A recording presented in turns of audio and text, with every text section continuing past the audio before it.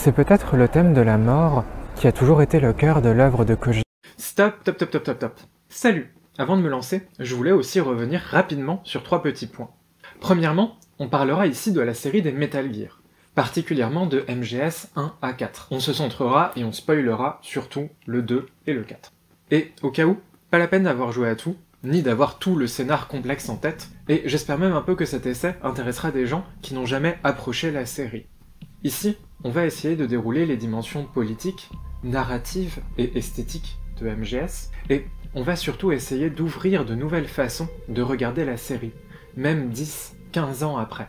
Et j'espère que ça vous donnera de nouvelles façons de la voir, que vous la connaissiez par cœur, ou que vous en soyez resté loin pour l'instant, parce qu'elle vous a toujours été conseillée avec les trois mêmes arguments relous. Et vu qu'on va parler de mort, je sais que certains s'attendaient un peu à ce qu'on parle, forcément, de Death Stranding, le dernier né de Kojima.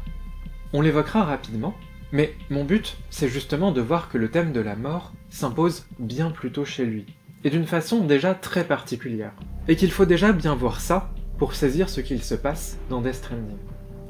De deux, j'utiliserai un peu comme un raccourci l'expression l'œuvre de Kojima pour parler de toute la foulée de jeux dirigés par Hideo Kojima. C'est une appellation qui cache forcément que ce sont des travaux collectifs. Que, au passage, Kojima doit sûrement pas être un patron pour lequel c'est très agréable de bosser, mais c'est un raccourci pratique pour désigner la patte qui se retrouve dans un peu tout ce qu'il dirige, pour désigner ce que Kojima a su créer et unifier autour de lui. Et ça sera même un de nos buts d'analyser, de contextualiser, voire même de défaire ce qu'on voit aujourd'hui comme le mythe Kojima. Je sais enfin que ça fait un peu remonter des red flags, on est tous un peu fatigués des longs essais à la gloire du génie de Hideo Kojima. On n'est pas là pour ça. Et je pense même que cette question de est-ce que c'est cool ou non, qui se décline aussi en qu'est-ce qui est bien dans le jeu vidéo ou pas, quelles sont les grandes règles qui font du bon jeu vidéo, qui est un peu la seule question qu'on arrive aujourd'hui à poser au jeu vidéo, c'est un point de départ très problématique. C'est ce qui fait qu'on est coincé à tourner en rond, à se demander si la façon d'écrire, de designer d'un tel ou d'un tel est trop cool, ou si c'est juste deux trois gimmicks un peu relous. Et puis, plus profondément, on fait comme si tous nos avis, et puis même nos façons de faire du jeu vidéo, elles existaient dans un grand vide, qu'elles n'étaient pas directement des produits de notre époque, de nos modes de pensée actuels, de nos questionnements, de nos angoisses. Et du coup, on n'arrive jamais à comprendre comment tout ça influence notre jeu vidéo parce qu'on se pose jamais la question. C'est particulièrement vrai pour Kojima, qui est souvent décrit comme un grand explorateur du game design, qui aurait questionné sans cesse ce qu'est le jeu vidéo. En fait, on n'arrive pas à voir que ce qu'il questionnait, sans cesse, à travers le jeu vidéo, ce sont nos angoisses, c'est notre époque de façon générale. Ça semble un peu abstrait, mais avec Metal Gear, ça se traduit très directement dans les analyses qu'on en fait, parce qu'ils ont à la fois un scénario très alambiqué et en même temps presque bête, et que quand on regarde ces scénarios de loin, et qu'on se demande juste ah qu'est-ce qui se passe politiquement, on se heurte un peu au fait que tout ce qu'on semble pouvoir en tirer, c'est un pacifisme assez vague, parfois presque apolitique, parfois un petit peu plus marqué. Ainsi, beaucoup d'analyses s'arrêtent à cette lecture, et cette politique surtout faite de bons sentiments ne semble jamais vraiment expliquer toute la résonance qu'a eu la saga, la fascination et l'engouement qu'elle a su créer, tout le sens qu'elle a pu avoir pour nous. Du coup, de l'autre côté, ces analyses, elles restent juste en émoi devant cette narration un peu étrange et fascinante, devant ces questionnements répétés mille fois sur l'agentivité, sans vraiment les comprendre, sans faire le lien, sans réussir à les faire travailler. Or, ce qui est intéressant dans Metal Gear, c'est que ces thèmes, ces angoisses, elles en viennent jusqu'à infuser dans le tissu de la narration en lui-même. C'est jusqu'à ce niveau-là qu'il faut les suivre pour comprendre la dimension politique, sociale, artistique de la série, de ce que Kojima a à dire sur notre ère de capitalisme tardif et impérialiste. Ce qui est intéressant, c'est justement que toutes les logiques internes de la saga semblent être poussées au fur et à mesure jusqu'à leur résolution dans leur précipitation catastrophique. Et c'est à tous ces niveaux que j'aimerais essayer de suivre Kojima. Ce qui nous amène à notre troisième point. On utilisera ici pas mal de concepts et de thèses amenés par Jean Baudrillard, le célèbre sociologue slash philosophe français, vu comme un des grands représentants du postmodernisme. Et j'ai l'impression par avance que je vais devoir me justifier de mon intérêt pour Baudrillard auprès de mes camarades marxistes, et en vrai je comprends très bien. On a vu bien assez de marxistes révolutionnaires tourner commentateuristes de la société de consommation et ne plus bouger un poil de cul, sauf quand c'est pour annoncer des raisonnements foireux dans les oreilles de tout le monde. Et souvent, la passion pour Kojima vient avec. Ce qui m'intéresse chez Baudrillard, comme chez Kojima d'ailleurs, c'est qu'ils semblent tous les deux avoir saisi quelque chose de notre époque. Mais qu'en même temps, ils sont un peu traités comme des monstres sacrés, assez obscurs et énigmatiques, auxquels il ne faut pas toucher, mais aussi auxquels on n'arrive plus à faire dire grand-chose. De l'autre côté, quand on les rejette, c'est souvent en bloc. On est toujours obligé d'admettre, à demi-mot, qu'ils ont influencé beaucoup de choses qui nous entourent, tout en refusant complètement de s'engager avec eux. Ben, ici, pour vous vendre la mèche, dans un premier temps, on va les suivre.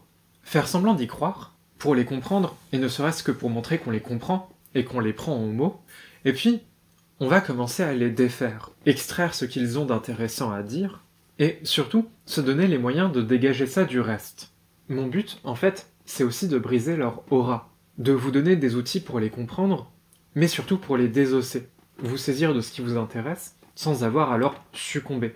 Bref, de faire ce qu'il est presque impossible de faire aujourd'hui, de prendre ces deux figures et de leur faire dire quelque chose de nouveau. Du coup, il y aura peut-être des passages un peu compliqués à suivre, mais j'essaye de faire des allers-retours constants avec des exemples plus directs. Mon but, c'est pas de vous faire sentir nul parce que vous comprenez pas tout le jargon, c'est de vous montrer que tout ce jargon, c'est pas forcément ce qui compte et qu'il a en fait des conséquences simples. Bon, c'est peut-être pas complètement réussi, parce que j'ai tendance à avancer un peu en crabe dans mes raisonnements, mais j'espère que ça ira.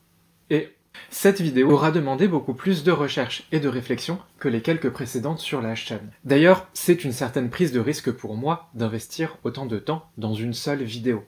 Et voilà, ça aiderait beaucoup, rien que si vous me laissez une petite chance, que vous prenez le temps de la regarder, même en plusieurs fois je sais qu'elle est un peu longue. Au cas où, les parties 1 et 2 forment un tout cohérent, et vous pouvez garder le reste pour plus tard. Sur ce, on peut commencer.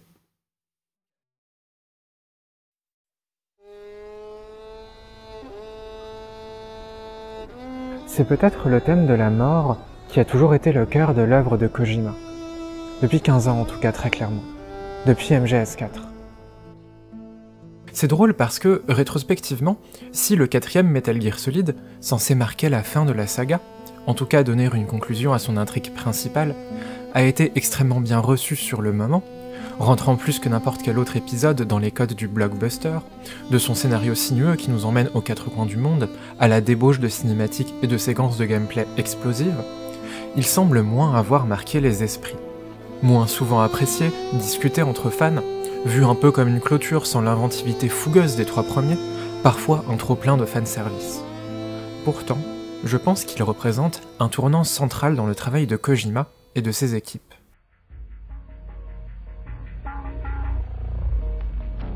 La mort s'y annonce dès l'écran titre, dès les premières notes de son thème.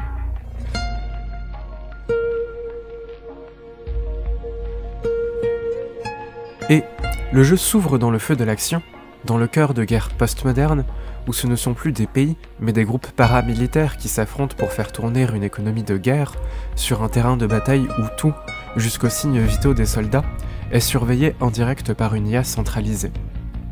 Mais c'est bien l'annonce de la mort prochaine de Snake qui marque réellement le début de son récit. La mort avancée, à cause de son ADN modifié, qui le fait vieillir à la vitesse de l'éclair. La mort, surtout, qu'il devra se donner.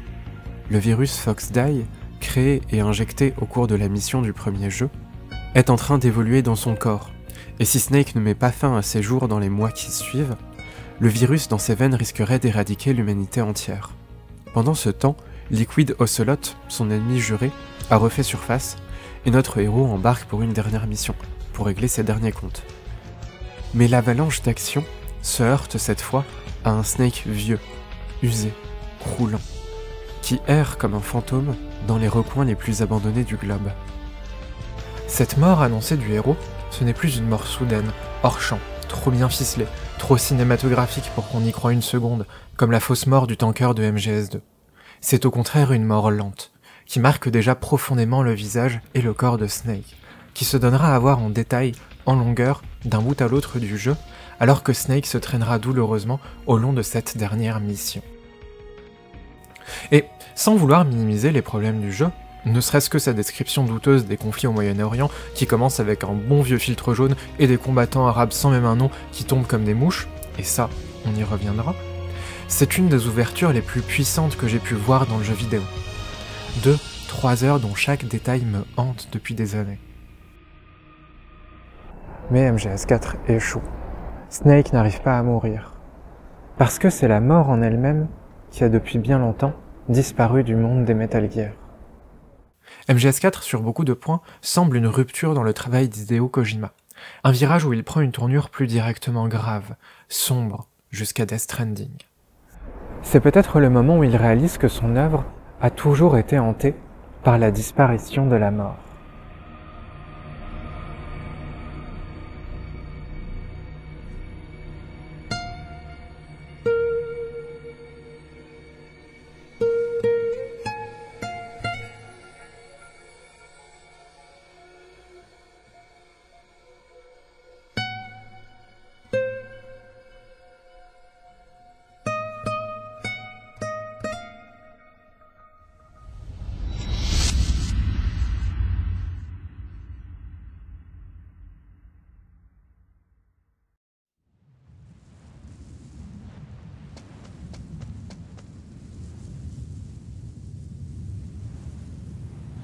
L'un des axes sur lesquels se développe la rupture de MGS4, ce sont les espaces.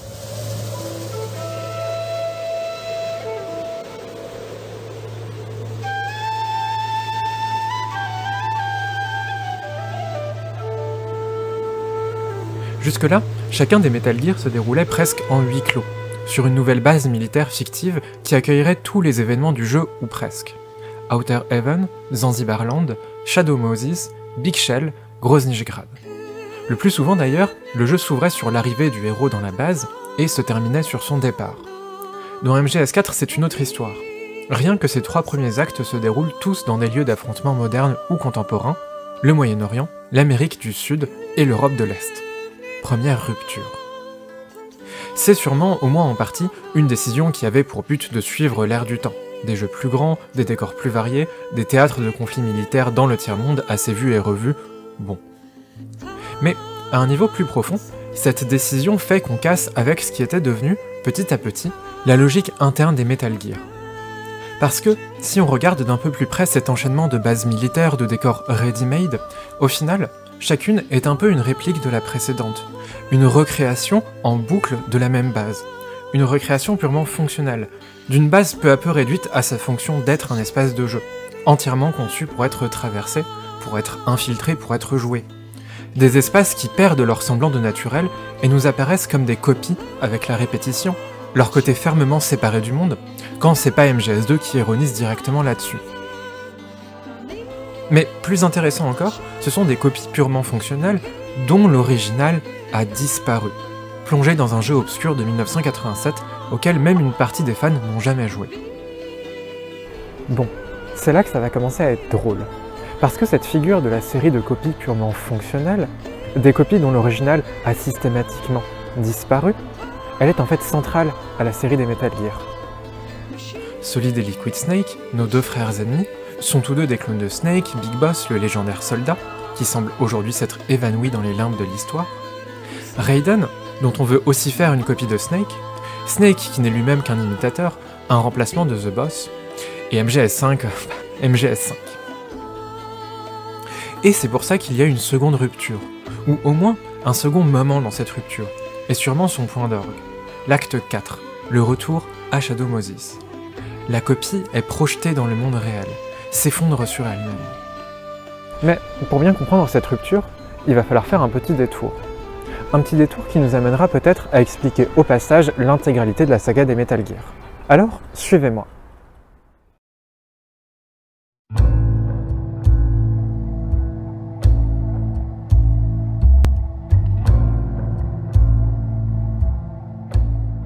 D'autres ont défendu que la série des Metal Gear Solid se raconte en grande partie sur le mode du camp.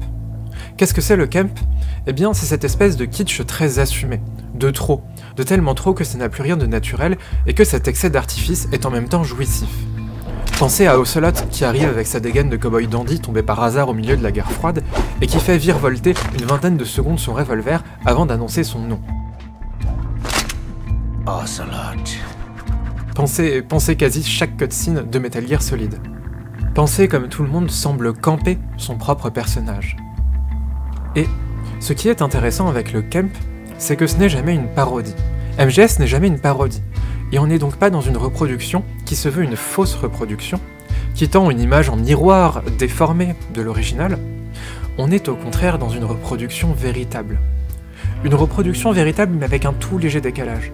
Et en même temps, c'est comme si, entre le modèle et la reproduction, on ne pouvait plus distinguer l'original. On est dans le pur simulacre, qui remet en question l'apparence de naturel de l'original. C'est ça ce petit décalage. Le drag, qui est l'une des formes principales du camp, n'est pas une parodie, il montre juste que ce que l'hétérosexualité perçoit comme la féminité et la masculinité, c'est artificiel. Il vide l'original de son apparence de naturel. On remonte beaucoup la consolidation de la notion au texte de Susan Sontag, qui parle de ballet ou d'art nouveau. Mais la notion est aussi profondément liée au milieu queer américain, et particulièrement queer noir, et au ballroom comme au drag. Black Drag Queens Invented Camp. Et c'est pour ça que j'aime pas trop utiliser ce terme pour MGS. Et puis, simplement coller le terme de camp sur Metal Gear, c'est peut-être rater l'occasion de se demander pourquoi on retrouve la logique du camp dans un contexte aussi différent. La logique du camp donc, c'est d'abandonner la volonté de faire naturel pour aller à fond dans l'artifice, et même de trouver une certaine jouissance dans l'artifice. Et MGS, c'est un peu tout le temps ça. C'est toujours l'abandon du naturel au profit de l'artifice. On dirait presque que Kojima assume l'artificialité de son histoire. Il assume qu'on ne croira pas vraiment à cette grande histoire de thriller militaire et de complot mondial, qu'il faut accepter ça et voir comment réussir à communiquer avec la joueuse malgré le fait que cette histoire ait un peu perdu tout son sens, tout son pouvoir d'illusion. On voit ça, comme on disait, dans la mise en scène sans cesse en démesure, très camp, et puis, il faut évidemment en parler dans les innombrables brisages de quatrième mur de la saga. Cette énigme dont il faut en fait trouver la solution derrière la jaquette du jeu, Psychomantis pour lequel il faut débrancher son contrôleur et le rebrancher en tant que joueur 2, ce colonel qui dit à Snake que jouer trop aux jeux vidéo c'est mal et vous demande directement d'éteindre votre console. Et en fait, ce jeu avec le quatrième mur va plus loin. Le scénar en lui-même semble sans cesse jouer sur un dialogue avec le joueur. Bien sûr, en disant ça, c'est dur de ne pas piocher dans MGS2 pour les exemples. MGS2 où tous les fans attendaient le retour de Snake, le bien-aimé héros du 1, et qui nous met en fait dans les bottes de Raiden, un cyber ninja efféminé qui n'a pas trop plu aux gamers. Kojima qui joue avec les attentes. MGS2 qui nous fait juste après croiser le chemin d'un certain Pliskin qui n'est absolument pas Snake. MGS2 et toute la saga en fait qui joue sans cesse sur ce que l'on voit, ce que l'on sait en tant que joueuse, sur la façon dont on appréhende le jeu vidéo. Et quand on parle de ça, revient toujours la question de est-ce que Kojima est un génie de la narration et du game design, ou est-ce que c'est juste des gimmicks un peu bêtes? Et cette question, elle ne m'intéresse pas. Et surtout, je pense pas qu'elle soit pertinente. Est-ce que Kojima est un génie du game design? Ben, ni oui ni non. Tout au long de MGS2, on nous parle des 25 super mechas embarqués dans le vaisseau de la mort ennemie, et à la fin, on nous balance seul sur une plateforme à devoir descendre les mechas à la suite, trois à la fois. Ce n'est en rien un bon combat de boss. C'est un combat de boss sans variation, sans crescendo, juste le même pattern répété une demi-douzaine de fois, voire jusqu'à 25 fois en Veryard. C'est aussi un des points d'orgue de la saga, un des moments les plus excitants et les plus mémorables. Parce que Kojima sait très bien qu'il n'y a pas de bon ou de mauvais game design dans l'absolu, la question c'est le sens qu'il prend. Et il sait que dans le contexte de MGS, ce qui marche, c'est d'en faire trop. C'est de jouer sur cet excès évident et jouissif. Et même quand c'est un peu moins évident, c'est autour de ça que sont axés les combats de boss les plus mémorables de la saga. C'est autour de ça qu'il sait qu'il peut axer ses caprices, parfois vraiment stupides, mais en même temps un peu incroyables. Et, un peu de la même façon, si aujourd'hui les brisages de quatrième mur sont si fatigants, c'est qu'ils sont devenus les accessoires d'une esthétique bourgeoise, où on cherche juste à reconnaître ces brisages de quatrième mur, y rire et montrer qu'on y rit et qu'on les comprend, pour marquer son appartenance à un groupe social des geeks cool. Et c'est souvent à travers le prisme de cette esthétique qu'on juge MGS. C'est parce qu'on regarde à travers ce prisme que la seule question qu'on peut lui poser, c'est est-ce que c'est bien ou pas, est-ce que c'est du génie ou pas? Or, c'est pas ça dans MGS. C'est pas un simple accessoire superficiel, un signe de distinction sociale. Ça semble être une orientation qui traverse toute la saga, une façon que la fiction a de se penser elle-même. Mais alors, qu'est-ce qu'elle veut dire cette orientation? Bon, déjà, cette approche un peu désabusée, qui ne croit plus vraiment à son histoire, ou en tout cas qui n'est plus vraiment intéressée par l'illusion de vérité qu'elle peut créer, ça semble être un peu récurrent dans la culture japonaise de l'époque, par exemple avec la culture otaku. Alors, je parle pas de ceux qui, par ici, s'appellent les otaku parce qu'ils aiment l'animation japonaise, mais bien du phénomène de l'otaku au Japon, qui peut être un fan absolu de trains, de ruines, ou d'animés, de gros robots et de sentai. C'est à cela en particulier que je veux m'intéresser. Et au fait que, ils vont pas juste rester fascinés par les grandes images de robots et de monstres spatiaux, au niveau de l'illusion que ces récits créent, mais qu'ils vont au contraire décoder autant que possible les plans, les découpes, les trucages, et pour l'animation, avoir une connaissance assez poussée pour pouvoir reconnaître l'animateur de chaque séquence d'un film à son style. L'un des plus célèbres de ces otaku, c'est évidemment Hideaki Anno, créateur d'Evangelion. Et je pense qu'on peut mettre Kojima dans le même panier. Et que c'est cette façon d'approcher vraiment par la fascination technique, la reproduction presque mécanique de ces techniques, qui donne cette dimension camp. D'un autre côté, on voit que Kojima hérite de plein de modèles, de clichés, celui de l'action hero américain, le thriller, le millier de références pour le cinéma qu'il glisse un peu partout. Mais c'est des références avec lesquelles il a une relation presque fétichiste. C'est pas vraiment des inspirations, elles arrivent comme des citations, collées là sans leur sens original. En ça, je pense qu'on peut voir un parallèle avec le super flat. Ce mouvement qui brandit une esthétique aux formes rondes et aux couleurs vives, qui reprend en fait la vision caricaturale de la culture japonaise qu'a l'Occident. Murakami reprendra ironiquement que le Japon est le futur. Bref, qui prend à fond la vision genre et qui décide justement d'embrasser cette espèce de simulacre de culture, creuse, vidée de son sens. On n'est même plus à embrasser les stéréotypes venant d'une autre industrie culturelle de façon creuse, on prend le retour, on prend notre propre culture en miroir, doublement rendue creuse, aplatie, super plate. Et c'est peut-être là qu'on commence à comprendre la dimension politique de tout ça. Parce que l'identité nationale japonaise a toujours été un élément très souvent mobilisé dans la sphère politique, mais aussi culturelle japonaise, pour imposer l'idée d'une nation homogène, homogène socialement, homogène politiquement, avec un ancrage historique glorieux, s'attachant souvent à la figure du samouraï et de leur code d'honneur, un narratif souvent renforcé par la fascination pour le Japon en Occident. Et bien sûr, cette identité nationale a systématiquement été utilisée pour justifier une politique conservatrice, voire réactionnaire, peignant chaque volonté de changement progressiste comme de l'occidentalisation alors qu'en fait la culture japonaise était déjà au début du XXe siècle largement hybridée, jusque dans sa pratique religieuse, jusque dans les milieux les plus conservateurs, avec des modes de pensée occidentales, même dans l'extrême droite, qui s'inspire beaucoup du romantisme, et le code du Bushido tel qu'il existe dans notre imaginaire est principalement tiré d'un bouquin de 1900 qui romantise énormément cette période. Face à ça, le travail de Takashi Murakami et du Superflat est forcément en opposition que ce soit au niveau de cette esthétique superficielle aux couleurs pop, mais aussi plus profondément. Quand il recrée cette espèce de simulacre de culture japonaise, il ne cherche pas à réaffirmer une identité japonaise naturelle, il embrasse au contraire le fait que cette identité soit sans cesse le fruit d'hybridation. Il essaye de briser le fait qu'elle ait l'air d'un original. Il réduit la culture à quelque chose de superficiel, super flat. On peut voir un parallèle dans le personnage de Grey Fox de MGS1.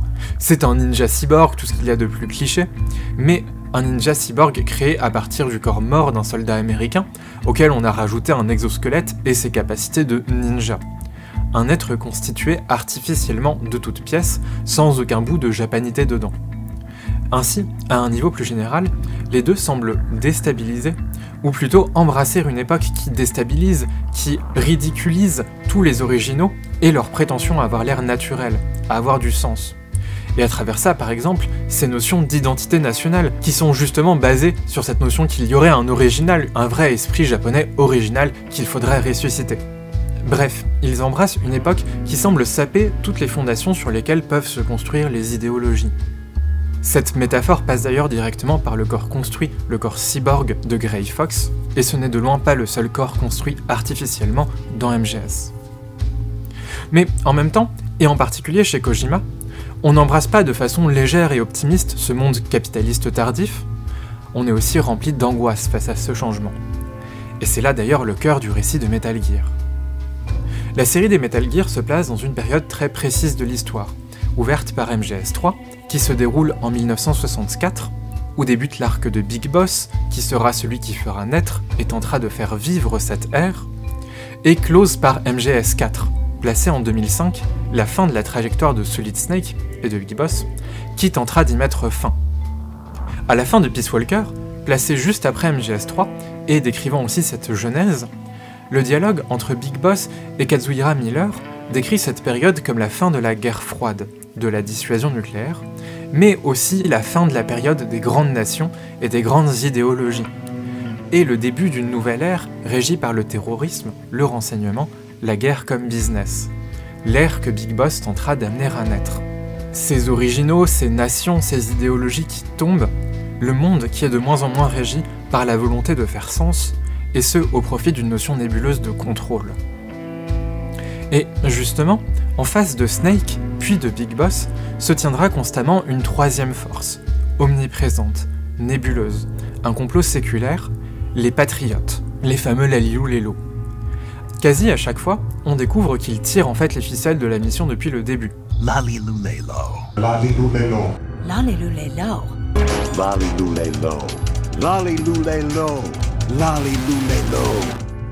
À chaque fois, on comprend que celui qu'on nous présentait comme l'ennemi au départ, dont on devait défaire les plans terroristes, tentait en fait de miner le pouvoir de ce groupe, et notre héros se retrouve pris au piège à devoir les défendre malgré lui.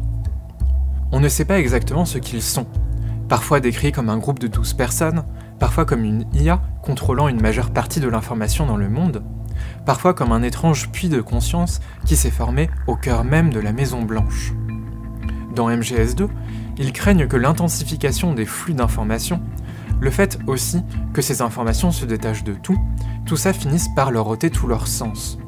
Et ils tentent ainsi de contrôler ces flux, pour en imposer une lecture, pour imposer une série de vérités. Et plus loin encore, dans MGS4, ils semblent avoir atteint un niveau de contrôle tel qu'ils vident les conflits, les guerres, toute l'activité humaine en fait de son sens. Nous sommes juste les pions sur un échiquier, et un échiquier qui n'a même plus vraiment de but, de sens, à part s'entretenir, tourner à vide et faire tourner à vide l'économie avec lui. On commence donc à voir un parallèle entre tous ces niveaux, dans le contexte culturel de la création du jeu, dans ce qu'il porte sur ce contexte et dans toute la dimension politique que ça dans l'histoire de MGS, la grande conspiration des patriotes, dans le tissu même de la narration, la façon que la série a de se raconter, et même jusqu'à la façon dont les espaces de la série se construisent. Mais on manque encore un peu de termes pour exprimer cette logique qui semble se répéter à chaque fois.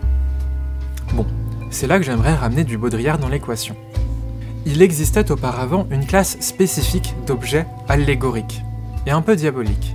Les miroirs, les images, les œuvres d'art, les concepts, et le plaisir consistait alors plutôt à découvrir du naturel dans ce qui était artificiel et contrefait. On cherchait dans les histoires qu'on écoutait, mais aussi dans la théorie et dans d'autres choses, on le verra, on cherchait dans ces histoires à retrouver du naturel, quelque chose qui nous parle, qui semble réel dans ce qui était artificiel, qui fasse illusion.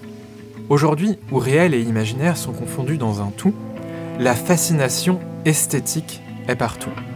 C'est la perception subliminale, une sorte de sixième sens, du trucage, du montage, du scénario, de la surexposition de la réalité à l'éclairage des modèles.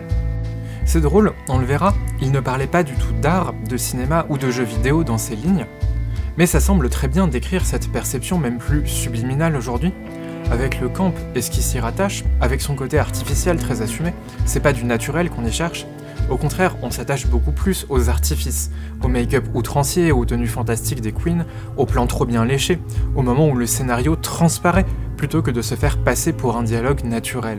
C'est ce qu'on répète sans cesse au sujet de Metal Gear. Oh, ça ressemble à un film de série B, mais qu'est-ce que c'est fun quand même Et c'est donc un peu ce phénomène qu'on retrouve bien au-delà du drag et du camp, qu'on voit aussi dans la passion grandissante pour les films d'action, et puis chez Tarantino et ses innombrables citations, et dans Everything Everywhere All At Once dont on parlait, et puis tous ces dernières années semblent de plus en plus se raconter sur ce mode. C'est aussi de ce côté-là que je place l'approche otaku, et celle de Kojima, du côté de cette perception du trucage et des modèles, tout autant que le superflat, et c'est pour ça que je faisais ce parallèle tout à l'heure. Ainsi, plus l'illusion que va essayer de créer l'histoire, on va s'attacher à la matérialité du média. Nos médias font tout pour sembler toujours plus réels, en plus haute définition, plus grande qualité d'image, des éclairages, des effets spéciaux. Et puis, même dans la mise en scène, qui se veut toujours plus musclée et présente pour nous faire sentir présents dans ce monde. Mais, ironiquement, toute cette accumulation d'artifices de réel, ça semble produire l'effet inverse. Il nous chahute, il nous interpelle sans cesse, tellement qu'on n'a plus le temps de plonger dans la profondeur des histoires, de plonger dans l'illusion et de retrouver du naturel, et qu'au contraire, tout est ramené à la surface des images, tous les moments où on a l'impression de pouvoir la toucher. Le trop-plein de réel semble juste faire disparaître le réel, nous laisser avec un fantôme de sa présence. On retrouve un peu ce qu'on disait au sujet des Metal Gear. Plutôt que d'être dupe, et de croire que la démultiplication des artifices de réel nous rend l'histoire plus réelle, les jeux vont embrasser leur propre artificialité, leur incapacité à créer une illusion. Et on n'est pas en train de se lamenter de ce changement comme des vieux réacs, enfin, faire des films à l'ancienne, c'est toujours possible, mais Kojima au contraire explore les possibilités que cette mutation semble ouvrir. Bon, revenons un peu à Baudrillard. Quand il parle de cette perception, plus si subliminale aujourd'hui du trucage, du montage, du scénario, il parle d'une fascination esthétique. Or, pour Baudrillard, la fascination résulte de la neutralisation et de l'implosion du sens. La fascination, c'est tout ce qu'il nous reste quand il n'y a plus d'illusion et même plus de sens, qu'on a vidé le monde entier de tout ça, juste une fascination extatique et nihiliste. Et MGS4 a pour thème principal, selon les dires de Kojima lui-même, le sens et l'impossibilité de transmettre, l'impossibilité de communiquer le sens. C'est ce qu'il se passe à tous les niveaux dans Metal Gear. Au niveau esthétique, toutes les inspirations arrivent comme des copies vidées de leur sens. Tout se parodie, tout campe son personnage, sans même la volonté de se moquer, au contraire sans qu'il y ait plus vraiment de sens à ces inspirations, à ces troupes, à cette reproduction. C'est ce qu'il se passe à un niveau scénaristique, à un niveau game design. Le sens de nos actions semble sans cesse se dérober sous nos pieds. C'est ce qu'il se passe enfin au niveau géopolitique, au niveau de l'intrigue des patriotes. Ce qu'il semble se produire, à différents niveaux, c'est que tous les mots et tous les symboles, toutes les figures, tous les signes semblent peu à peu se détacher de leur sens et tourner en rond pour ne faire plus référence qu'à eux-mêmes. Avec l'intensification des échanges économiques, culturels, toutes les barrières, toutes les identités nationales, tout semble s'effondrer, ouvrant la voie à de nouvelles possibilités politiques. Seulement, de l'autre côté, on a l'impression qu'on ne peut plus rien utiliser pour communiquer, pour représenter. Parce que tout ce qu'on a de solide pour appuyer notre discours semble s'effriter sous nos doigts. C'est un processus qui a des conséquences politiques, parce qu'alors toute représentation politique est impossible, et nos systèmes se marchent sur la tête, ou plutôt tournent à vide, tout autant que des conséquences sociales. Et puis artistiques, tout semble devenir des tropes vides de sens qu'on hérite, et arrive cette peur de ne plus rien réussir à transmettre à travers l'art. Surtout quand on est coincé au cœur de ces systèmes qui semblent s'être détachés de tout, s'exprime une crainte. Une crainte presque complotiste. Nos actions semblent vider de leur sens. Toutes nos actions, jusqu'à la plus significative, jusqu'à notre propre mort. Le sens qu'ont nos actions semble annulé par avance, comme si elles avaient déjà été anticipées, prévues, réglées depuis l'extérieur. L'extermination du sens par son anticipation. C'est exactement ça que représentent les patriotes, c'est cette crainte qui trouve écho dans tous les célèbres plot twists et qui se répète, on l'a vu, à tous les autres niveaux du jeu et ce, jusque dans le retour constant de la figure du double. On a l'impression que toutes nos actions ont été anticipées parce qu'on retrouve leur double partout, par leur redoublement. Ça rejoint ce qu'on disait, quand la parodie se montre comme un faux par rapport à un vrai, La reproduction parfaite, elle, est un double. Ce même double qui anticipe le modèle, le prive de son sens d'original. Pour que le signe soit pur, il faut qu'il se redouble en lui-même. C'est le redoublement du signe qui met véritablement fin à ce qu'il désigne. C'est pour ça qu'aujourd'hui le double prend ce sens inquiétant. Le double qui analyse son sujet, le double qui représente la peur qu'on puisse lire en nous, qu'on soit réduit, nous aussi, à cette surface d'information. Bon, c'est encore un peu flou. Mais repensez au thème que Kojima assigne à ses jeux. Il a peur que l'on ne puisse plus communiquer de sens par l'hyper-présence des médias, par les flux de communication trop intenses, qui seront interprétés de mille façons différentes, alors il explore les autres manières de communiquer, de transmettre. Il explore dans MGS1 le thème du gène, la transmission par la copie parfaite. Dans MGS2, le thème du même, le modèle qui se transmet, qui est répété en se vidant peu à peu de son sens. Et dans MGS3, la scène, justement ce contexte de l'information qui la change complètement et qui en même temps semble déjà devenu indécidable, irrécupérable. Et dans un dernier retournement plein d'ironie, le double échoue systématiquement. Celui des liquides, les doubles créés par les gènes, ne sont en rien des copies parfaites. C'est d'ailleurs Liquid Snake, celui ayant eu les gènes dominants, qui échoue. Raiden, la copie par les mêmes, est marquée d'un bout à l'autre par l'échec, souvent signé par la féminité. Big Boss ne voit l'autre côté de la scène qu'une fois qu'il est trop tard. La copie n'est jamais parfaite, il y a toujours un peu de sens, d'illusion qui filtre. Arrive MGS4, un épisode qui n'était pas prévu et que Kojima décide finalement de dédier au sens, à l'impossibilité de transmettre un sens. Le sens qui semble s'être volatilisé, ou plutôt s'être accumulé à l'infini dans le puissant fond des patriotes, se détachant peu à peu de tout, ne faisant référence plus qu'à lui-même, jusqu'à devenir cette espèce de machine sombre et infernale qui semble diriger le monde dans l'ombre. La seule porte de sortie que Kojima peut entrevoir, c'est de tout effacer, c'est d'abolir le sens, c'est la destruction complète des patriotes, c'est la dernière déclaration de Big Boss, ils n'ont aucun héritage, rien à transmettre aux nouvelles générations.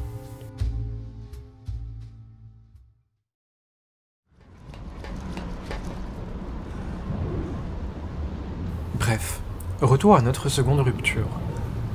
Parce que ce n'est plus simplement l'incursion des Metal Gear dans des décors bien réels, dans la vraie vie, c'est Shadow Moses qui, en un instant, est projeté rétrospectivement dans le monde réel. Ce qui était une base militaire purement fictive et construite pour une fonction, pour être le théâtre d'un événement, se retrouve d'un seul coup coupé de cette fonction. Ce ne sont plus les couloirs savamment saupoudrés d'ennemis à un rythme intéressant, ce sont des couloirs vides, usés, où traînent quelques hordes de robots hostiles. Ce qui n'était qu'un lieu purement artificiel, instrumental, est soudain ancré dans la réalité, dans l'espace réel qu'a traversé Snake depuis le début du jeu, mais surtout dans le temps, vieilli, abîmé par le passage des années. Tout comme l'est désormais Snake. Il y a quelque chose de paniqué dans MGS4. Quelque chose qui brise avec la certaine légèreté que pouvaient avoir les précédents opus, qui s'amusait un peu de cette disparition du sens, qui plongeait dans l'extase de toutes les nouvelles façons dont on pouvait communiquer, au-delà, tactilement, et en même temps dans l'ironie du fait qu'il y avait toujours un peu de sens, un peu d'illusion qui filtrait. Mais d'un coup, la série se voit elle-même dans le rétroviseur, et semble prise d'une angoisse, paniquée de ce qu'elle a réussi à dire ou pas, de ce qu'elle va laisser derrière elle. Alors elle plonge tout dans la réalité, comme pour se demander elle-même ce qu'elle va lui laisser, et met en scène cet étrange objet qu'est la première base du jeu à l'abandon. Snake de retour à ses débuts, Kojima qui se met en scène dans les ruines de sa propre œuvre. Dans les ruines de Shadow Moses, quelque chose s'effondre.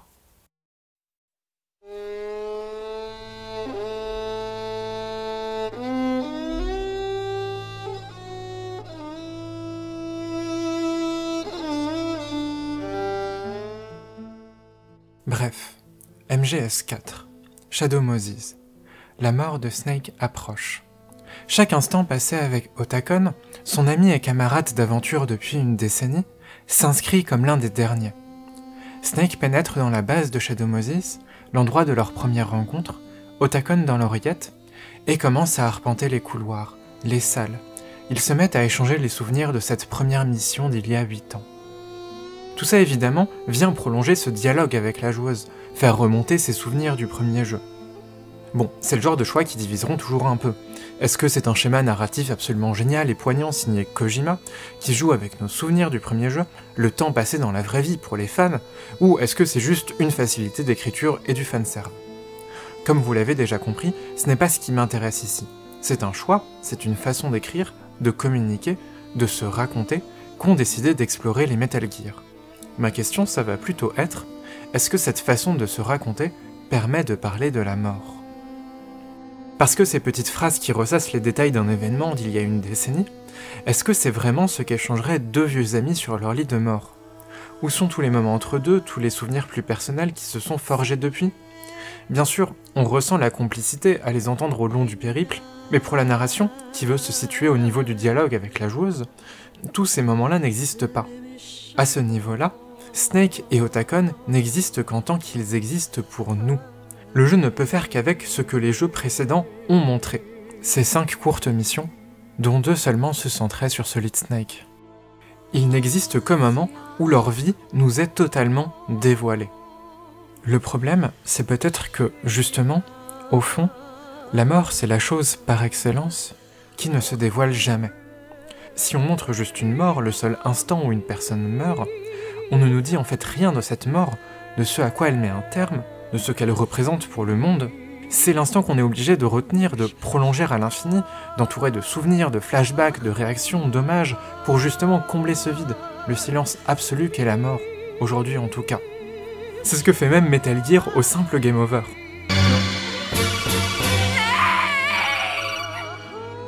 Et c'est un peu ça que fait tout MGS4. Il abandonne l'ancienne formule de l'acte unique, dans le lieu unique, pour un long et dramatique périple aux quatre coins du monde, pour étoffer cette mort, lui donner le poids qu'elle ne pourra jamais avoir. Mais c'est perdu d'avance. Ça fait bien longtemps que la mort a disparu, que la mort est irreprésentable dans Metal Gear Solid. Et, dans un dernier sursaut d'ironie, Snake lui-même échoue. Snake n'arrive pas à mourir. Après 15 heures à tousser, crachoter du sang, se faire tirer dessus, subir des attaques directement dans les nanomachines plantées dans son cerveau, se faire micro-onder vivant, après une double condamnation, par la génétique, par la maladie, et avec un flingue dans la bouche, Snake n'arrive pas à mourir.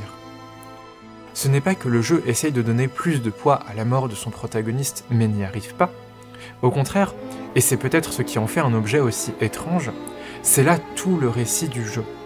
Que Snake n'est pas condamné à mourir, mais à ne jamais atteindre une mort qui a du sens.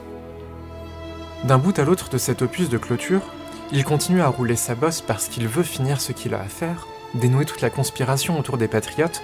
Il est terrifié par cette mort programmée, chronométrée. Il veut sortir de cette espèce de tourbillon de contrôle et de surdétermination. Il veut donner un sens à sa mort une fin qui arrive au moment où il réussit enfin à faire s'effondrer le système nébuleux de contrôle contre lequel il se bat depuis le début du jeu. Mais même ça, c'est impossible. Même ça, c'est resté dans le jeu de temporalité du système. Même ça, ça lui est refusé. Une main calleuse se pose sur son épaule, s'interpose et prend sa place. La seule libération pour Snake, c'est de sortir par la petite porte. Parallèlement à ça, dans MGS4, le système des Patriotes a justement atteint un tel niveau de contrôle qu'il a pu conquérir jusqu'à la mort.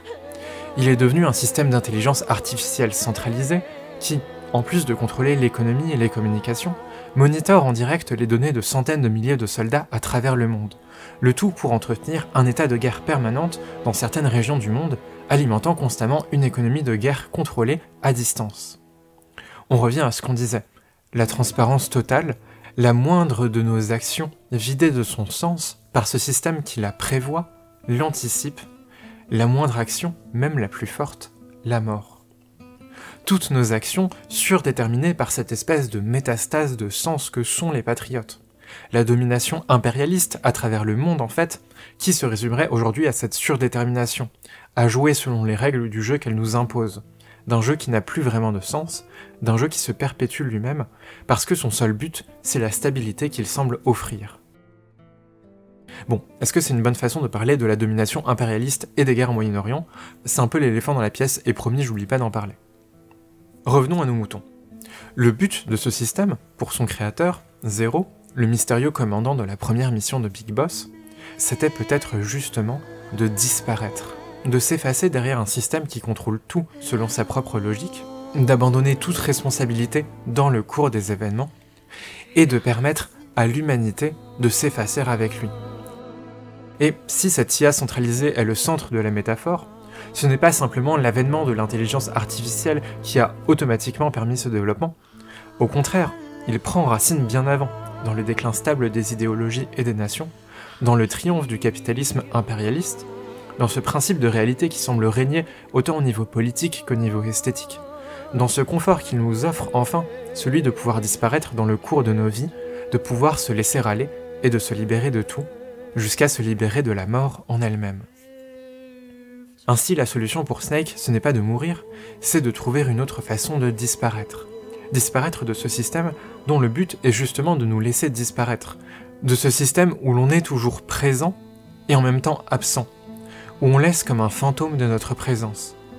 C'est cette autre façon de disparaître qu'il trouve finalement en sortant des radars, et surtout avec Otakon qui, lors du dialogue qui clôt le jeu, et la saga tout entière, lui promet de raconter son histoire.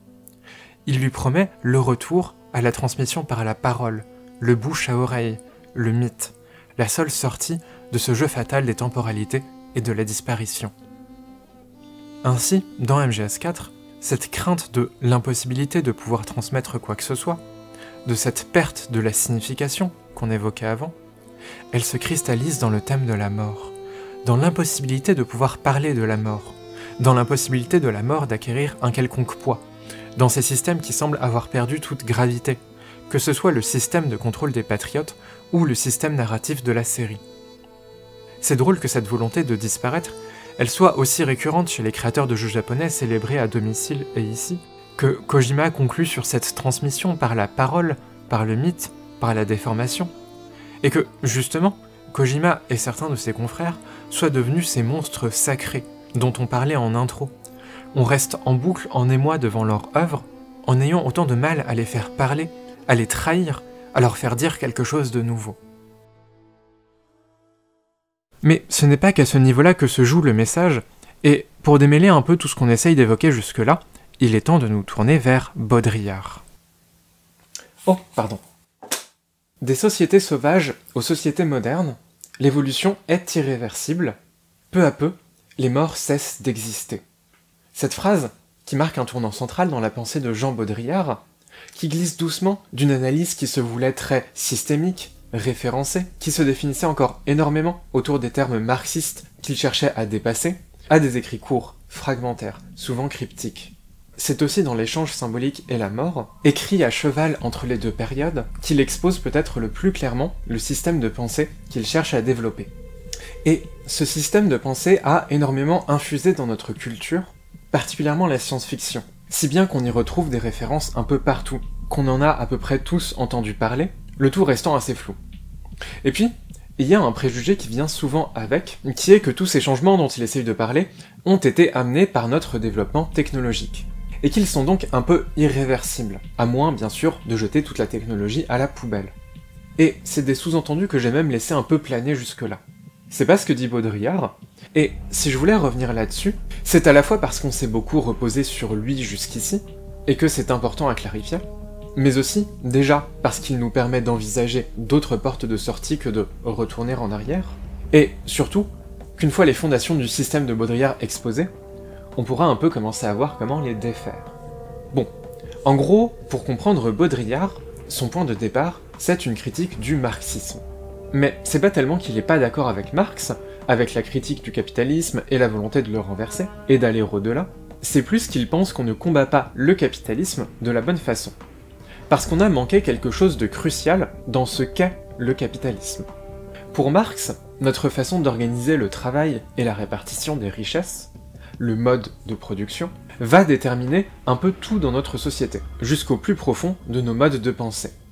Il prend l'exemple assez célèbre d'Aristote, qui écrit qu'il est absolument impossible de concevoir une égalité parfaite entre par exemple 1 kg de blé et 300 g de viande, c'est deux choses parfaitement différentes en nature, et c'est impossible, dans un raisonnement strict, de mettre vraiment un signe égal entre les deux, et il basera une partie de ses raisonnements sur ce point de départ.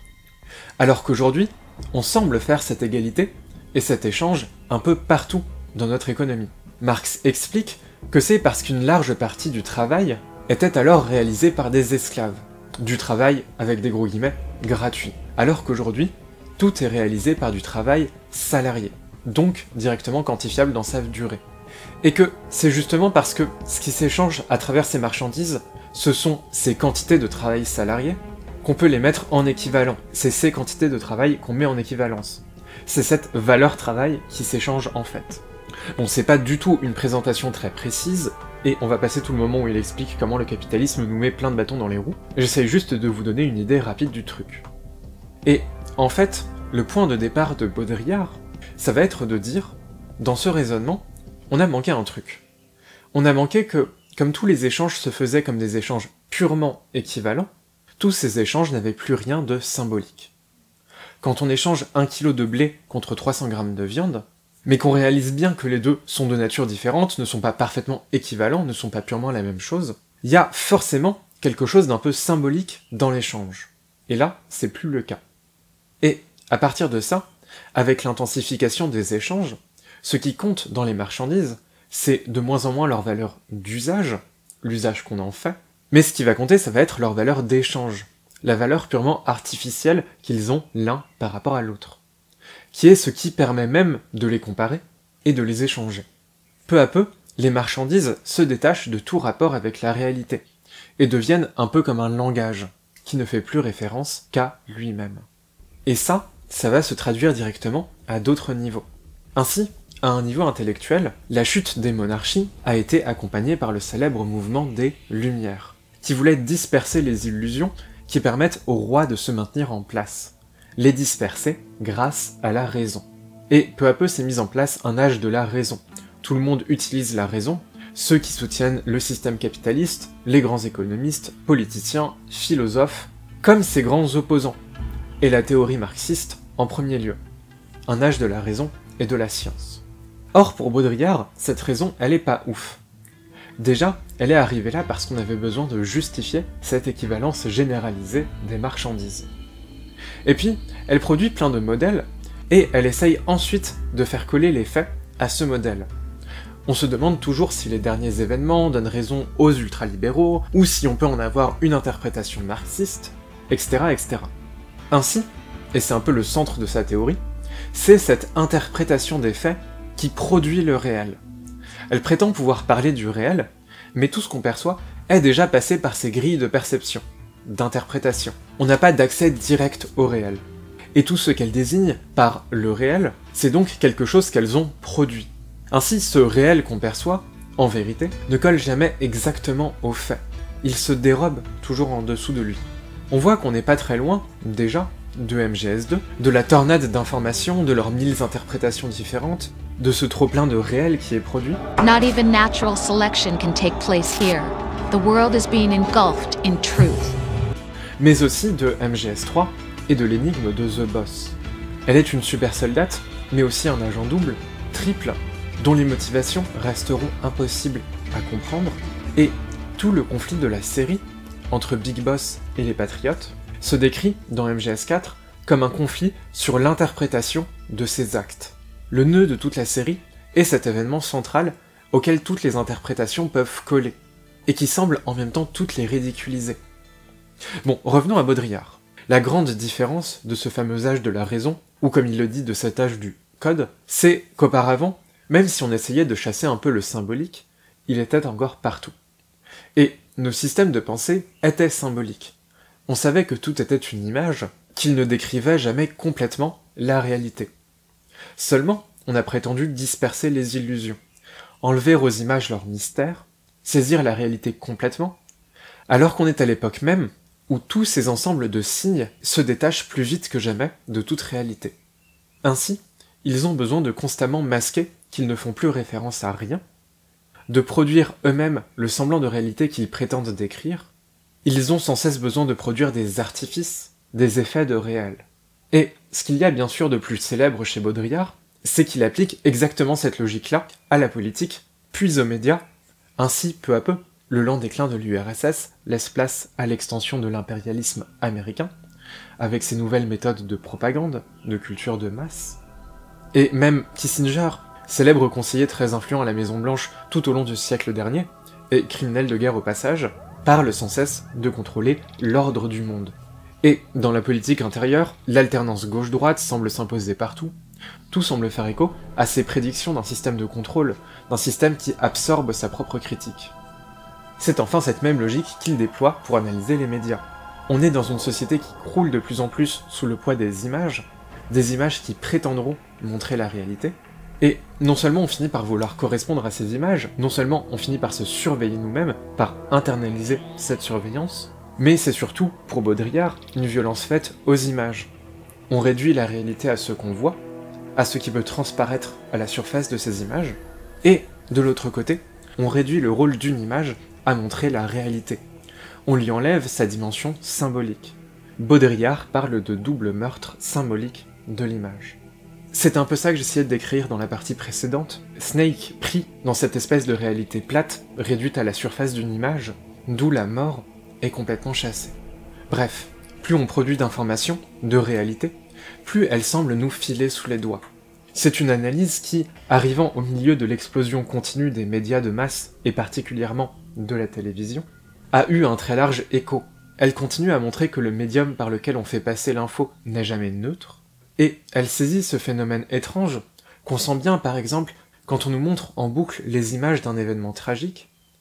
Avec un médium qui a une image aussi riche que la télévision, on finit par de moins en moins voir la portée symbolique de ces événements. On les a vus, on sait à quoi ils ressemblent, et en même temps ça semble les vider de leur ampleur, de leur contexte, de leur poids. Ils sont juste réduits à ces quelques images. Et c'est ce même procédé qui semble envahir toutes les sphères de notre vie, on est toujours plus filmé, nos expériences sont toujours plus remédiatisées. Bon. On retrouve sans cesse des thèmes qu'on a vus en TMGS. La perte de toute dimension symbolique, le sens et la vérité qui envahissent tout, les images réduites à leur surface, la communication tactile. Pour être clair, je ne suis pas spécialement en train de supposer que Kojima ait été directement influencé par Baudrillard, ou même qu'il l'ait lu. Mon point, c'est plus qu'ils réagissent à la même période, au même phénomène, qu'il y a énormément de parallèles entre eux, entre leur façon de penser et d'aborder les choses, et que comprendre l'un peut nous aider à suivre l'autre. Et on peut encore tracer beaucoup de ponts entre l'un et l'autre. Le système des patriotes est souvent décrit comme cette réalité purgée de toute contradiction. Kojima insiste aussi que le système est né de zéro. Or, l'une des inspirations centrales de ce fameux post-structuralisme, et particulièrement de Baudrillard, c'est justement l'idée, avancée par Umberto Eco, que les différents langages ne se réfèrent pas tous à un code universel, originel, mais que le langage sort de zéro. Et c'est à partir de ça qu'une compréhension parfaite est impossible. Que ce désir aujourd'hui d'imposer un langage, une réalité sans contradiction, serait oppressif. Baudrillard en arrive plus tard à la volonté de l'homme de disparaître, de s'effacer derrière ce système. Ce qu'on lisait, au final, chez les patriotes. D'ailleurs, si dans MGS2, la réponse à toute cette machination conspirationniste semble un peu naïve, fais comme si de rien n'était, sors de chez toi, fais ta famille, monte un phoque, vis putain, vis, peu à peu, l'œuvre de Kojima semble se rapprocher de plus en plus des thèmes et des angoisses qu'on retrouve tout au long des écrits de Baudrillard. Et les deux semblent converger vers un même thème central, la mort. Qu'est-ce que Baudrillard nous dit de la mort? Ben, auparavant, le pouvoir s'organisait principalement autour du fait de retirer la vie. Payez vos impôts, allez à l'église, ne vous moquez pas trop du roi, ou c'est la mort. Le capitalisme, lui, au contraire, il exerce son pouvoir en accordant la vie, via le salaire. Si vous voulez vivre, travaillez pour le grand capital, et maintenant on a même mieux, entreprenez. On n'est plus dans la vie contre la mort, on est dans la survie accordée. Plus on avance, moins le pouvoir se fait restrictif, et plus il se fait productif. Il ne nous donne plus de limites, mais définit l'espace même où on a le droit d'évoluer. Et ça, on le voit en premier dans cette disparition de l'opposition sans cesse entre vie et mort, ses limites, une opposition qui s'abolit et qui devient la survie, définir l'espace. C'est cette même centralité du contrôle par la survie que je vois dans MGS4, à travers le système des Patriotes, à travers la longue agonie de Snake, qui se termine par la volonté de refaire parler un mort.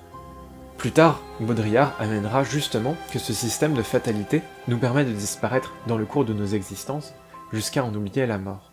En parallèle, il affirme que la première opération du pouvoir, c'est de bannir les morts. Lorsqu'elle a dû trouver une excuse pour consoler des travailleuses de trimer toute leur vie sans les avoir réduits en esclavage, la religion chrétienne a commencé à promettre l'au-delà, la vie éternelle où tout se rachèterait et où on pourrait profiter. Seulement, auparavant, on entretenait encore une relation active avec les morts, avec les esprits, qui restaient autour de nous un certain temps après leur disparition. C'est ça que la religion chrétienne a tout de suite dû encadrer, repousser, puis expurger, pour transformer l'au-delà en un lieu complètement séparé et fantasmé.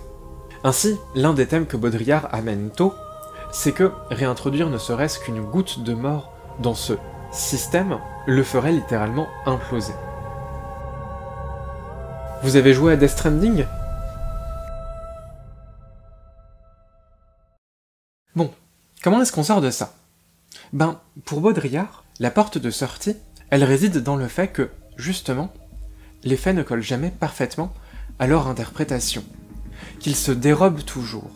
Il prédit constamment un moment où cette grande révolte des faits fera imploser le système, où l'on reviendra à un système symbolique, à rendre aux images leur mystère, sans que ce soit un retour en arrière. Bref, c'est ça qu'il appelle faire l'hypothèse du simulacre. Ce n'est pas que les choses deviennent des simulacres, c'est faire l'hypothèse qu'elles en ont toujours été un, qu'elles n'ont jamais été ce qu'elles semblaient être, c'est juste qu'à force de se convaincre de plus en plus qu'on a accès à la réalité, on ne fait en fait que s'en éloigner, que monter à un stade supérieur de simulation. Il faut justement revenir aux apparences, où on sait que les apparences sont juste des apparences, qu'elles sont symboliques, et en même temps qu'on ne peut pas avoir accès à la réalité en dessous, que tout est des apparences. Bon, je suis évidemment pas très d'accord avec tout ça, mais rapidement. D'une, ça ne veut pas dire retourner à une bonne vieille société d'antan, ce qui est du fascisme, il essayait bien de théoriser un dépassement. Deux, ça ne veut pas dire qu'il ne faut rien faire, mais que, plutôt que d'essayer d'avoir une théorie qui explique tout, on doit construire une anti-théorie, qui doit obscurcir, pour précipiter cette chute.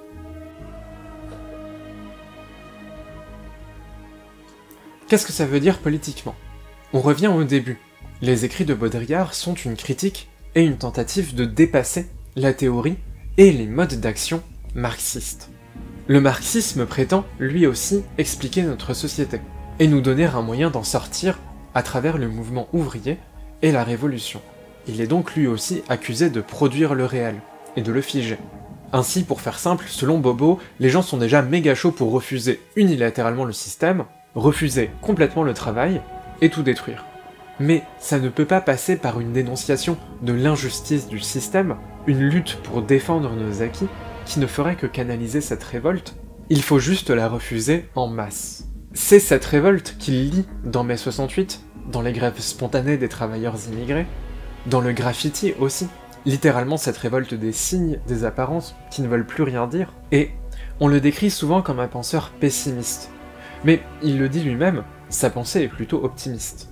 C'est sa théorie qui permet de se passer de tout le lent processus de construction de la révolution. Par la théorie, par les mouvements, parce que les choses finiront par se renverser par elles-mêmes.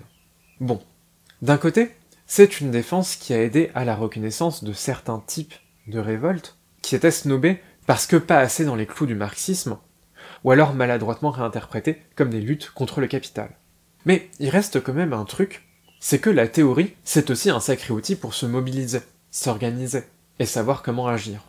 Et on peut prendre le combat sur la réforme des retraites comme un très bon exemple. On croise exactement le thème de la mort, et je pense que Baudrillard nous casserait les couilles en disant qu'on fait le jeu du système, en restant dans la défense des retraites, qui n'est qu'un outil de contrôle de la survie, qui contribue à définir une temporalité de l'exploitation, mais au contraire, on voit très bien que le questionnement autour des retraites s'est très vite transformé en remise en question très large du travail, de ses conditions, de l'exploitation qui s'aggrave dans une chier de corps de métier, et c'est cette dénonciation qui a aussi lancé des mouvements plus radicaux, plus violents, dans un refus complet du travail aussi, qui ont lieu en ce moment même.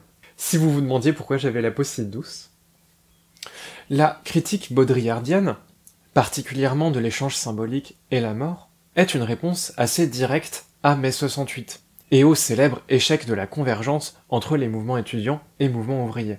Mis sur le dos des ouvriers et des directions syndicales, sclérosés par leur focalisation sur l'exploitation, et qui n'entendaient pas l'utopisme et l'implosion des étudiants.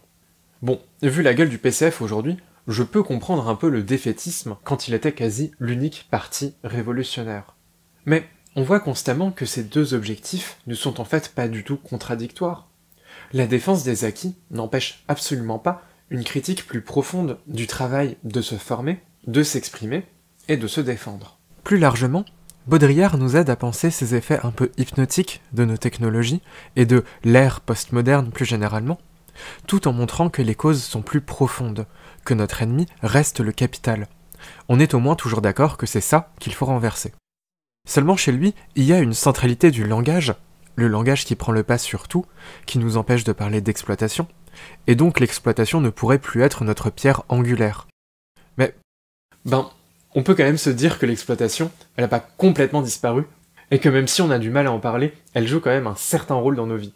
Bon, pourquoi est-ce que je vous parle de tout ça au milieu d'une vidéo sur MGS Ben, on le disait un peu, parce que ça nous donne un point de départ pour défaire en certains points les visions de l'un comme de l'autre.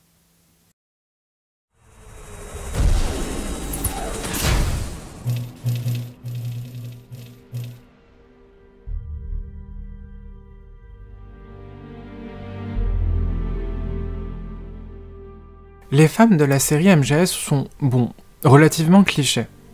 La bleue un peu gnangnan, l'assassine silencieuse et tragique qui meurt dans l'instant, la femme fatale au décolleté plongeant, on va pas très loin. Et je sais pas si dans la trentaine d'heures de cinématiques cumulées, on passe une seule fois le Bechdel test. Mais c'est assez drôle, dans les Metal Gear Solid, il y a ce petit quelque chose qui faisait qu'en fait, c'est tout de même des persos qui, d'une manière un peu détournée, me plaisaient. Bien sûr, ce sont des clichés sexistes. Et quand le jeu ajoute, pour rigoler, un QTE pour mater une poitrine, on sait quel comportement ça renforce. Mais une fois ça pris en compte, ben, ça restait amusant de m'y projeter. C'était des clichés, mais des clichés un peu inoffensifs, comme s'ils étaient sortis d'un film d'il y a 50 ans, que le danger qu'ils représentaient pour mon autonomie et ma liberté était passé, et que je pouvais m'imaginer librement être une terrible femme fatale sans devoir affronter la misogynie qui allait avec. C'est un peu ce dont Suzanne Sontag parle, que le Kemp rajoute des guillemets partout. On ne nous montre pas des femmes, mais des femmes entre guillemets. On n'est plus en train de dire que les femmes sont comme ça, on parle déjà d'un stéréotype qui n'a plus de prise sur la réalité.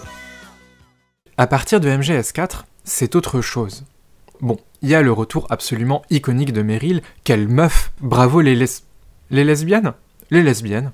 Mais il y a surtout la série de boss des BNB Corps. Quatre femmes trop bonnes, mais traumatisées par la guerre, au point d'être devenues des monstres sanguinaires, qui finissent toutes, une fois battues, à agoniser dans des crises de spasmes violents sous leur combinaison en latex, en suppliant Snake de mettre fin à leur souffrance.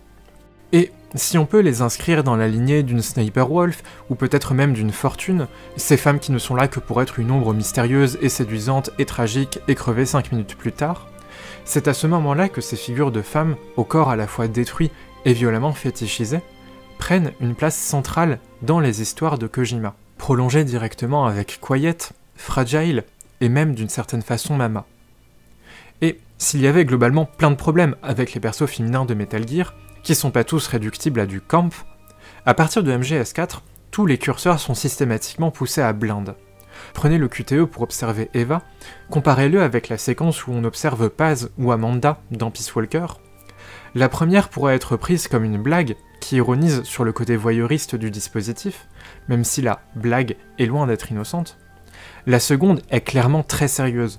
Elle vient tenter de nous faire ressentir une fragilité de ces deux femmes à travers ce dispositif voyeuriste.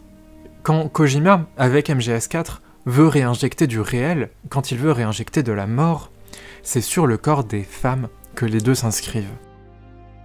Et ça montre peut-être une différence centrale avec le camp. Le camp réduit tout à des apparences. Mais ce n'est pas pour dire que les apparences ne comptent pas. Au contraire, c'est pour dire qu'on sait bien qu'il n'y a rien sous ces apparences, mais qu'on sait qu'il n'y aura jamais rien. Que les apparences, c'est tout ce qu'on aura, et donc que ces apparences sont tout. Tout le monde campe dans le ballroom et le drag, et ce n'est pas pour autant que tout le monde s'en fout, au contraire, ce sont des lieux de passion et de drame sincère. Bon, on détruira pas le patriarcat juste avec des drag shows. D'ailleurs, cette idée, elle vient souvent plus de gens extérieurs qui fantasment la subversion du truc, alors que ces shows servent souvent d'abord et avant tout de lien dans des communautés qui seraient les premières à avoir besoin qu'on mette à bas l'état bourgeois plutôt qu'on tourne en rond en les fétichisant. Mais peut-être qu'on peut entrevoir des petits bouts d'utopie dans ces moments où il n'y a réellement plus rien derrière les signes qu'ils ne traduisent plus une hiérarchie qui essaye désespérément d'exister en fond. C'est cette utopie-là que nous, on projette aussi, peut-être, chez Kojima, chez le jeune Kojima des MGS 1, 2, 3. Ces trois jeux où le huis clos crée presque un espace autre, une hétérotopie, où les signes sont remis en circulation, tout est remis en jeu, où par exemple la masculinité de Raiden se défait, où la réalité se décompose. C'est une utopie qu'on peut lire, mais que Kojima n'a pas spécialement voulu. Et surtout, une utopie qu'il tue toujours dans l'œuf. Raiden retourne à sa petite vie de famille, Snake ne roule pas sa pelle à Otakon, toutes les femmes sont sacrifiées pour le héros, et le travail de Kojima s'oriente fatalement vers un tournant conservateur. Au passage, c'est un peu ça que les Jean-Michel qui vous parlent de métamodernisme oublient de se demander. À quoi est-ce qu'on revient après tous ces questionnements et est-ce qu'au final cette tendance elle est si nouvelle que ça Bref, le réel et la mort chez Kojima revient s'inscrire sur le corps des femmes, ou sur celui des populations d'Afrique et du Moyen-Orient. C'était le deuxième éléphant dans la pièce, et pas des moindres. MGS4 prend en partie place au Moyen-Orient, en Amérique du Sud, décrivant rapidement les luttes qui y prennent place comme des guerres par proxy gérées par l'IA des patriotes. Est-ce que c'est fatigant de voir nos pays utilisés comme un théâtre de guerre perpétuelle sans aucune considération pour les populations, les raisons des conflits et les enjeux locaux qui s'y passent Réduite à quelques cases d'un échiquier, vue en fait d'un bout à l'autre depuis l'œil impérialiste, comme s'il n'y avait rien d'autre en dessous Oui. Est-ce que ça trahit un problème central dans la fameuse approche de Kojima qu'on essaye de cerner depuis le début Oui. Et puis, MGS5 choisit comme théâtre principal l'Afrique, avec quelques efforts si on gratte un peu pour donner plus de contexte et de sens que des super soldats avec des noms chelous ont décidé d'en faire le théâtre de leurs opérations. Mais ces efforts se traduisent rarement dans le jeu et sont largement compensés par les passages extrêmement gênants sur les enfants soldats, qui commencent en tant qu'élément de décor dans lequel il faut faire attention de ne pas mettre une balle, et deviennent des nouvelles recrues pour la base militaire de notre héros. Je vais pas m'étendre, bien sûr qu'il y a de la nuance, mais de façon générale, on peut se mettre d'accord que c'est pas ouf. Quand on voit la représentation des enfants soldats dans MGS5, on a un peu envie de retomber dans les pires clichés du postmodernisme et de dire qu'on a le choix soit entre ne pas représenter ce genre de souffrance et de l'avoir oublié de tous, soit de la représenter et de l'avoir réduite à une marchandise un peu vaine. C'est absolument parce que je crois, J'en ai parlé il y a à peine un mois, et je pense que c'est le signe qu'il y a un échec profond dans ce que propose Hideo Kojima. Il n'y a que dans Peace Walker, se déroulant entre MGS 3 et 5, qu'on accorde un tant soit peu de crédit aux luttes révolutionnaires locales et qu'elles arrivent à résister à la fois au contrôle de la CIA et du KGB. On peut évidemment expliquer ce changement entre, d'un côté, les populations de Peace Walker qui parviennent à l'autonomie, et celles de MGS 4 et 5 qui sont complètement sous contrôle, par une tentative des jeux de décrire un changement profond dans les paradigmes géopolitiques mondiaux, qui empêche tout mouvement des peuples, tout mouvement émancipateur de se former, qui laisse comme seule possibilité de résistance un terrorisme même plus politique, mais un terrorisme viral, sans autre logique que le terrorisme, comme celui de Liquid, et qui justifierait derrière qu'on voit tout à travers l'œil impérialiste ou on peut l'expliquer par le fait qu'on voit les luttes des populations en Afrique et au Moyen-Orient à travers un prisme raciste, qui leur enlève toute agentivité, et que ça en fait un très bon terrain pour ancrer les fantasmes de cette vision pessimiste. Et je veux dire, rien que le fait qu'il y ait au moins 3-4 persos sud-américains centraux à Peace Walker, et à peine un perso africain qui est la parole de tout MGS5, ça devrait déjà nous mettre sur une bonne piste. Étrangement, quand Baudrillard fantasme ses soulèvements spontanés, c'est aussi toujours sur des populations non blanches et ou immigrées. Les travailleuses immigrées hors des syndicats, les jeunes qui taguent New York, etc. En fait, toute une partie du prisme de la spontanéité chez lui repose sur des exemples qui fantasment les populations non blanches et ou immigrées comme privées de toute agentivité, ce qui chez Baudrillard leur permet, en même temps, d'échapper à toute logique et d'être l'avant-garde de la révolution. C'est ce qui se traduit plus tard dans ses écrits par voir le terrorisme comme la seule opposition possible. Ça part de cette même idée que toute lutte émancipatrice est impossible aujourd'hui. Cette vision, sans forcément être reprise directement des textes de Baudrillard, elle a clairement infusé. C'est cette même progression vers la centralité d'un terrorisme qui n'est même plus politique, un terrorisme anti-système, qui se déploie encore et encore dans notre culture de masse, qu'on retrouve chez Kojima, et qui repose toujours sur les mêmes ficelles. Ainsi, si l'on peut ressentir partout cet effet que l'on décrit depuis le début, d'une domination qui laisse progressivement place à un contrôle, il faut aussi défaire cette idée que la seule opposition possible est une révolte totale et dépolitisée. Et ça, ça commence peut-être par attaquer la vision fétichisante des populations subalternes, qui est quasi systématiquement la base de ces idées, comme le fait par exemple Spivak. Plus généralement, le capitalisme semble effectivement produire de plus en plus cet effet de détacher toutes les choses de leur sens originel, de nous empêcher de communiquer, cet effet de tout figer dans son image. Seulement, l'idée qu'on ne peut plus construire aucun mouvement, aucune théorie révolutionnaire, qu'il faut au contraire complexifier, refuser la moindre construction révolutionnaire, aiguiser les contradictions jusqu'à ce que tout finisse par s'effondrer spontanément, c'est peut-être juste une illusion, c'est peut-être même exactement ce que le capitalisme veut nous faire croire. C'est peut-être ça la nouvelle idéologie du capitalisme, la logique culturelle du capitalisme tardif. C'est ce qui permet à Baudrillard comme à Kojima de choisir cette vision pessimiste et en même temps presque plus optimiste, d'imaginer un effondrement, une implosion à venir, de se passer de toute la construction révolutionnaire et, à un niveau plus direct, de toute construction de solidarité avec les différentes populations opprimées, de toujours les voir de haut, depuis l'œil de l'impérialisme, d'une façon déshumanisante, sans jamais avoir à confronter ça. Bon, mais alors, pourquoi passer autant de temps sur Kojima si Kojima c'est pas ouf? Eh ben, parce qu'il semble toujours avoir réussi à être un certain échographe de ses temps. Au fond, il suit beaucoup les modes, l'héritage des figures hollywoodiennes, l'arrivée et la centralité de la cutscene des MGS, le thriller géopolitique, mais il semble toujours aussi créer cette distance, les subvertir pour les interroger, dès le cœur comique et burlesque du gameplay, jusqu'aux figures camp, et surtout en se moquant constamment de l'agentivité de la joueuse.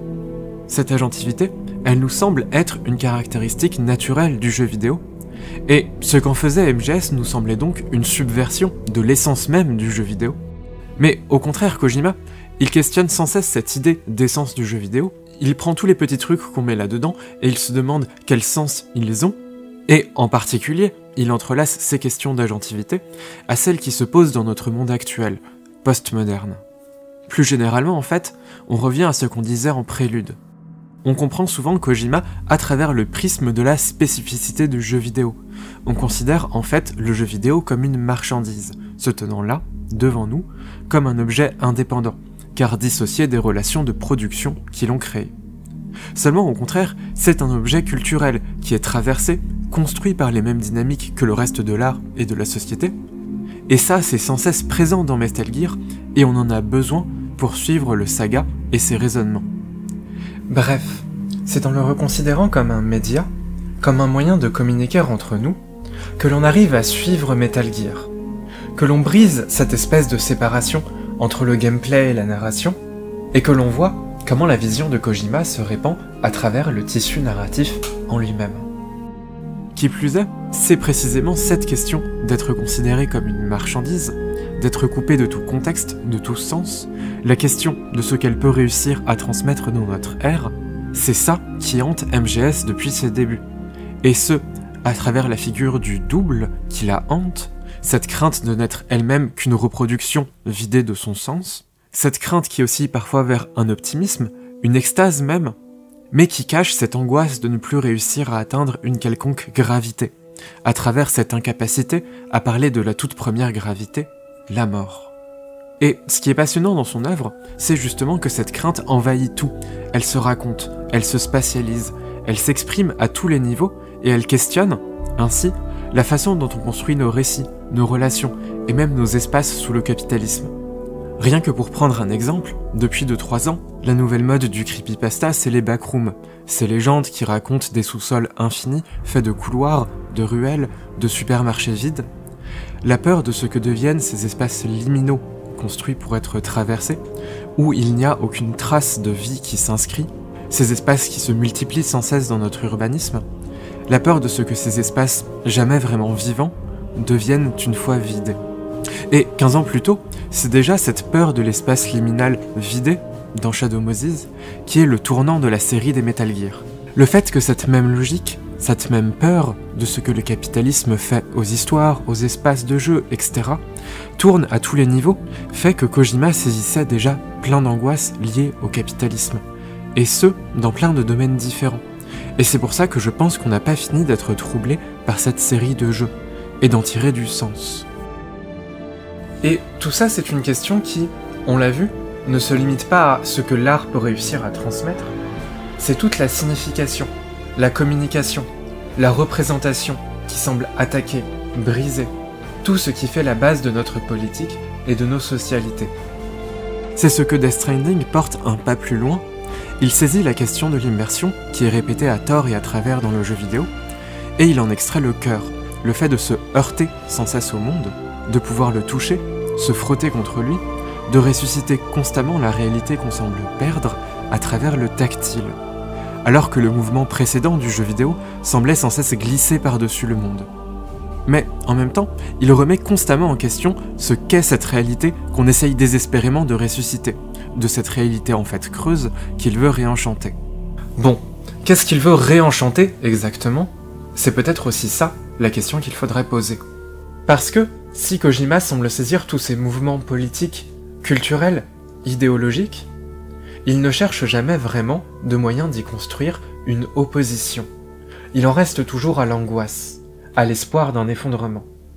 Ainsi, si on peut parfois entreapercevoir de l'utopie dans la saga, il choisit ultimement la solution de la facilité, celle qui lui évite d'avoir à chercher une solidarité avec les peuples opprimés qu'il décrit, celle qui lui permet de tomber dans les mêmes travers profonds de représentation sans jamais se questionner. C'est peut-être ça qui l'empêche de sortir de cet effet de l'art vu comme une marchandise, qui le hantait tant, et dans lequel, au final, MGS est complètement tombé. À aucun moment il ne fait le grand pas. Il décide de voir les médias comme ce qu'ils sont encore, des moyens de communiquer entre nous.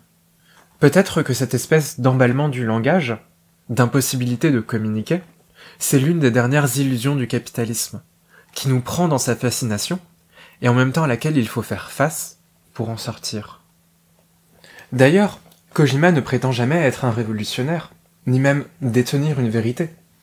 Le souhait de disparaître me semble central à MGS 4. Et puis, dans MGS 5, la figure du double évolue.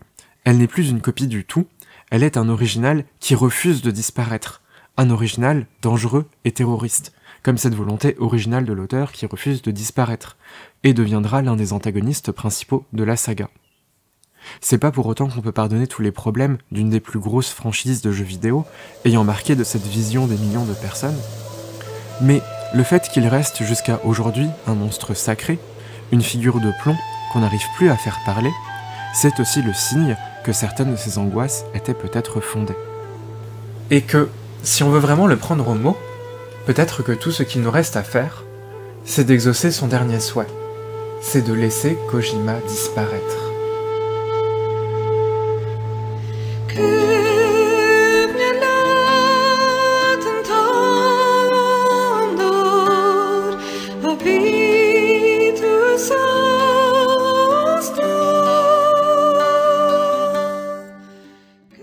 Hello, merci d'être arrivé au bout de cette très longue vidéo.